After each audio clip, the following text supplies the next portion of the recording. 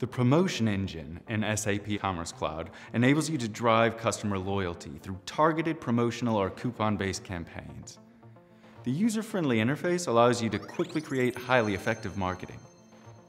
The promotion cockpit is where you create and manage all of your promotions and set the associated rules for each campaign you want to execute.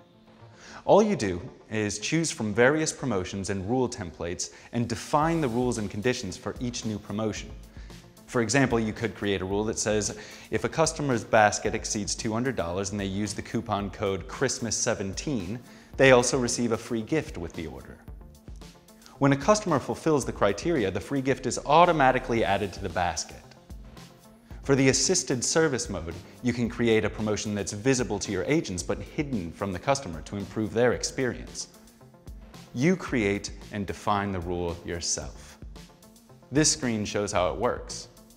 As you can see, the customer's basket contains specific products, and they've been helped by a service agent through the assisted service mode, making them eligible for a discount. You can also see all the active and disabled promotions in one single view from the promotion cockpit.